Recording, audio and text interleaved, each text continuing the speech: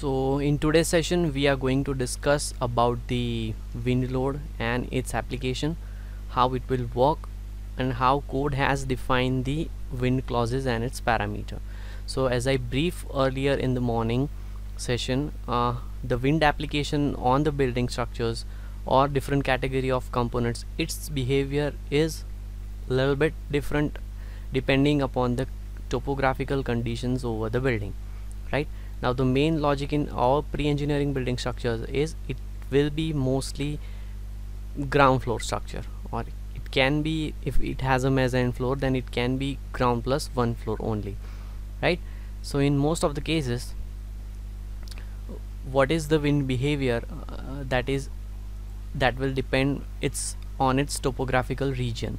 So to make you aware about the wind behavior uh, here I have taken a picture okay that how it will impact on the building structures. Now see in case of the building uh, this will be the kind of behavior for the wind. If you have the application of wind for a single entity it will impact the wind on the structural surface then it will go sidewards and upwards depending upon the object which it is facing right? If you have the multiple structures then the your wind intensity will be scattered depending on the object or the building it is facing right? So based on this condition your impact of the wind or the basic wind speed you are working out for a particular structure it will depends on the speed of the int intensity speed uh, the topographical region over there and the surrounding areas objects or the buildings which are surrounded by your particular structure on which you are working out your wind pressure right? So in case uh, your structure is located with the surrounding structures then your wind will be scattered something like this right? In the first picture you can see all the structures are with a similar height right? So your wind impact will be on the upper regions only. If your structure has height different than the surrounding areas then your wind impact will be something like this right? And for the least amount of the structural component your wind will be in terms of scattered mode and that's why our Indian code also has specified the category of your wind. Means your wind intensity or the wind load on for your particular structure will increase or decrease based on the object or what we can say the building. And that's why for the calculation of the wind it has specified height to width and length to width ratios. And based on that you have certain coefficients that we need to work out for the wind load analysis right? So as I told you the wind behavior in the pre-engineering building structures this uh, will be the scenario right? For all four sides you need to work out your wind load. Now remember one thing over here that if your wind is acting from here right? So it will go directly here and it then it will go sidewards. So basically in the behavior form what is happening when your wind is in this direction then it will offer a positive pressure on the object or the surface on which it will impart okay? On the opposite side you will observe the opposite means these are the outward sides. So in these two sides you will observe the suction. So that is the general behavior the behavior which I was talking right now over here. Okay? So in the structural behavior as well the coefficients are given in such a manner right? Code has specified that your wind towards the building will be positive and wind away from the building will be negative. That is a formulation written in your code. So that is the general behavior. So let's say my wind is acting from here. So it will considered as a positive pressure towards the building. Now for the opposite two directions these are the side wall directions so in this phase it will behave means it will impact as a suction. Okay so it will experience the suction on the side walls. And in the opposite direction also it will experience the suction on the real wall. So that is the basic behavior that you need to understand. Now depending upon type of the loading sorry depending upon the direction of your loading you have to work out your wind in all four directions. Right so instead basically we have x direction. Right now I'm talking about in the plan direction right? X is horizontal. This let me just draw it in 3d first. So this is my x this is my z and y is vertical in STAAD. So basically for the STAAD parameter what we gonna do? We will walk out the wind force in x direction and z direction. Y is the vertical that is based on your height alright so we have to work work out the wind load for 0 degree. Let's say my wind is acting from here right?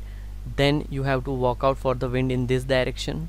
That is called as 90 degree right? So your wind will be from this direction then from this direction. So for all four sides you need to work out your wind wind pressure right? Now how the code is defining your wind segment that we gonna understand. Now the behavior which I have explained you here the same behavior is explained here in terms of the codal provision. So what code says that the similar language the wind which is acting from the wind direction that will be your positive pressure okay? And that will be your windward direction. The surface on which the wind is acting this is your windward direction and the opposite direction is called leeward side. So this is my windward side this is my leeward side. Alright wind acting towards the surface will considered as a positive pressure and wind acting away from the surface this will be called as away. So it will called as a negative pressure. Okay so remember windward side will be a positive pressure okay and that will be from outward to inward. Okay and in case of the lever pressure will be from inward to outward. Outward means see try to understand this. Pressure from outward to inward. That means it is coming from outside and going inside. So that is my windward side. In case of the leeward side the negative pressure will be from inward. This is my inward and going outward. Right? And that's how you have to work out your wind. So that is for your side segments now in case of your roof segment the wind will generally behave in terms of your uh, away segment that is the upper segment okay because we have the roof sheet connections.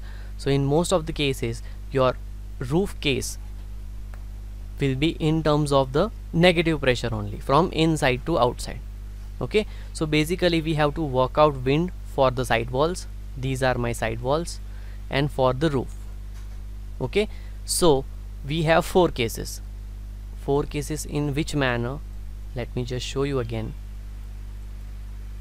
So my wind will be for the wall then for the roof. This is for my windward direction. Here windward wall then windward roof. Again same. Windward now this the opposite side is called as leeward. So leeward roof and leeward wall and that's how the wind is categorized in your code as well. So the coefficients are given based on this particular condition in terms of your windward force and leeward force. Okay?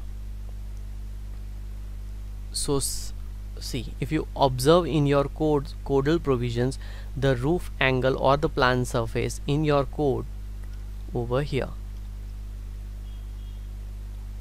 See we have the tables table in terms of the geometrical configuration that is defining your height to width ratio and length to width ratio right?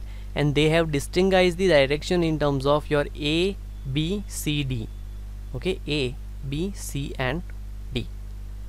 Depending upon your height to width ratio whether it is rectangle square too long too short and based on this category code is categorizing your structure in terms of height by width ratio so it has basically four categories. See h by w that is height by width ratio less than 0.5 again then we have the category in terms of 0.5 to 1.5 the height to width ratio in between 0.5 1 by 2 is 0.5 and 1.5 then again we have 1.5 to 6 okay you we have studied these particular categories in our uh, bachelor's or the degree engineering level as well and then for the two long categories the height by width ratio which is greater than 6 and again it will categorize in terms of your length by width ratio.